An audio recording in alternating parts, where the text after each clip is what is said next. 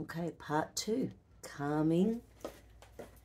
So this balance is for calming political chaos, opening up our hearts, minds and souls so that we can see the world with what's going on in all its glory, chaos and evil, the whole kit and caboodle.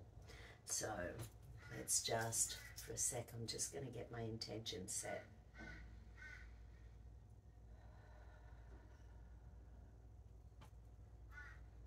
Okay, so I'm going to use that energetic uh, thing, tapping the brain, tapping the heart.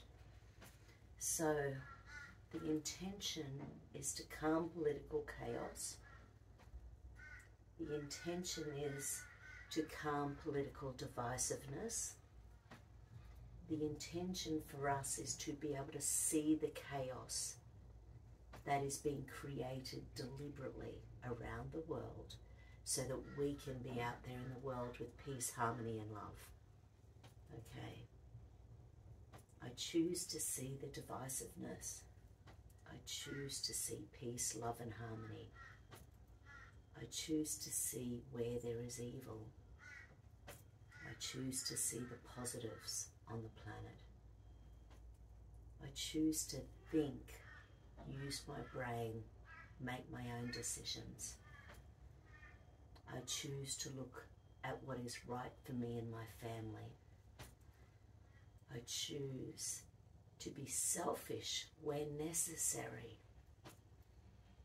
I choose to walk through life with love, peace, and harmony.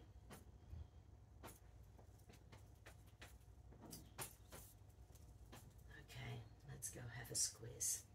So adrenal survival, deep survival, hidden deep survival, right? So a hidden deep survival, obviously that's a huge intention. So hand over the heart, spot on the spine. Okay, is it linked in with the celestial circuit? Is it linked in with EMC, MMC, PBSS? Right. So energetically, we're just going to calm some survival patterns these big patterns on the planet have been going on for hundreds and hundreds of years. So the brain has been so mesmerized by everything. Quite often we are simply born with a knowing that is suppressed when we are between zero and seven years old. We're taught what to think, not how to think. Okay, so the first little area showing up is the cerebellar vermis. This little area is about confusion with what we're seeing isn't what we're being told or what we're feeling isn't what happening. So it's like there's a confusion with the senses and then we have to dull our senses in order to be able to get through. When this is happening it's basically like this gaslighting we are doing to ourselves so that we can thrive and survive on the planet, but we have to do it via stopping ourselves from thinking, via stopping ourselves from being true to ourselves. And this amygdala pattern here is escape, submission, freeze. So it's wanting to run away, wanting to stop, not wanting to think, not wanting to listen to ourselves.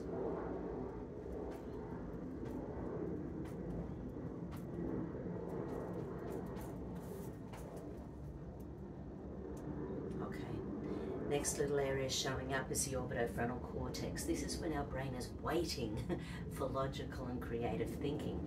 And of course, when we're being told what to think, we're not thinking logically and creatively.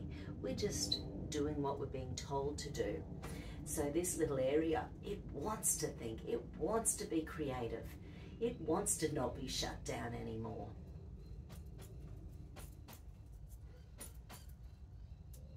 Mm, and there's some anger in underneath that.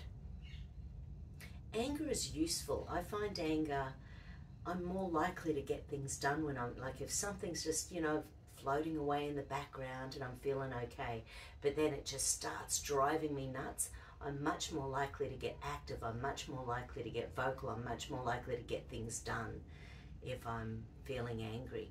And we often suppress our sixth sense So we have amazing brains, amazing brains. And quite often we're only using like 9 or 10% of our brain because we suppress our ability to go out there in the world and see things and go out there in the world and experience things.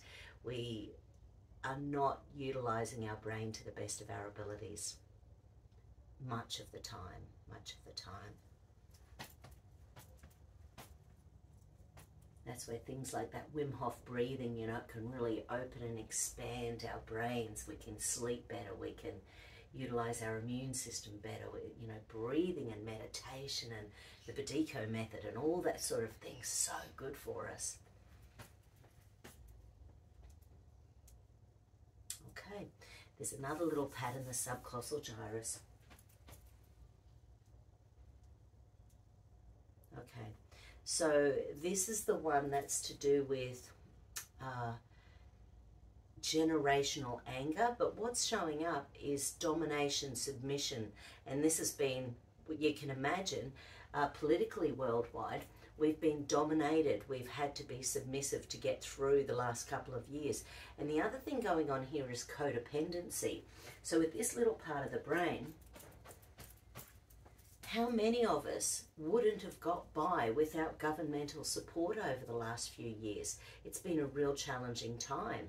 And we see, as always, the rich are getting richer. You know, those people aren't struggling in these times. You know, and I was listening to a documentary that was talking about the number of small businesses that have gone down, the transfer of wealth from people like us to the billionaires. It's just going to be a fun time moving forward, isn't it? but I think it's allowing us to go back to our roots, what is really truly needed for us to be happy, healthy, and well. Is it the big flash cars? Is it the big flash houses? You know, or is it really connections with loved ones, connections with community, connections with our family and friends? And nature, oh my goodness, bringing nature into the fold on a daily basis. Okay, that's better. Yeah, so that codependence, uh, submission, docility, that's where we're being suppressed and gaslit, you know, is trying to make us feel less than worthy of being out there in the world and living our lives. Okay, so reticular activating system. Yep and that codependent submission uh, is sh shutting down that serotonin. So when we think about big government, big world stuff, big agendas, when we start looking at it, it makes us, it can lower that serotonin so it feels too big for one person. But the fantastic thing is we're not just one person, there are millions and millions and millions of people who are starting to see the big stuff, which is amazing. So this is serotonin, low serotonin, but when we start to see the big picture, we do get that vigilance, so we start being alert to what's going on, and then you start to see through the BS, which is amazing. And all of a sudden, everything becomes clear. But we have to keep reminding ourselves that there's so many layers upon layers upon layers upon layers they're not going to tell us. So it's uh, only via keeping our minds open and our hearts open and our souls ready to receive information that we become more and more able to receive further information. It's quite an interesting time on the planet.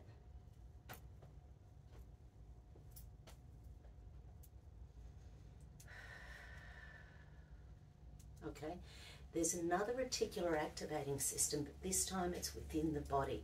So we need to activate all our muscles. So firstly, activate the uh, neck and shoulders. Tight, tight, tight, tight, tight. And relax. And then I want you to get your fingers and arms tight, tight, tight, tight, tight. And relax. And then your feet and legs tight, tight, tight, tight, tight, tight, tight. And relax. Then I want you to do your buttocks and your abdominal muscles. Tight, tight, tight, tight, tight. And relax. And then just tighten everything from head to toe. Allow the rubbish to disappear from your body. tight, tight, tight, tight, tight, tight, tight, and relax.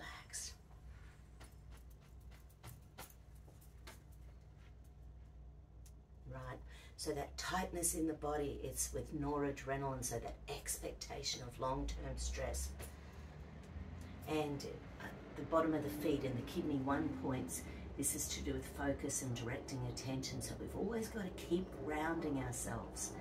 When we're paying attention to what's going on big picture, it's heavy, it's dense information, it's mind blowing when we start to find out big stuff.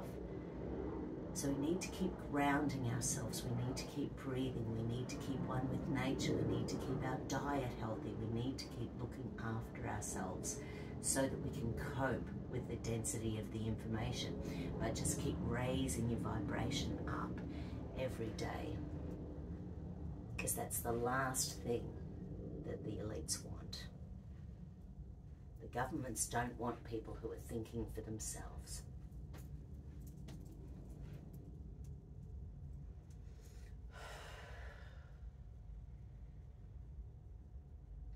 Okay, good, good, good. So let's just quickly finish off with, okay, so throat chakra. And okay, so sacral chakra is about creativity. It's a, it's the reproductive organs, but it's about creativity and throat. So these are the two chakras that are showing up. So throat chakra is about truth, it's about speaking. Sacral chakra is around creativity. And much of what we're doing, you know, when we're sitting down watching TV, we're shutting down our creativity. We're being told what to think. They don't call it programming. You know, they call it programming for a reason. So just getting into some meditation practices, getting into some Wim Hof, getting into some breathing, getting into nature, all helps to open everything up.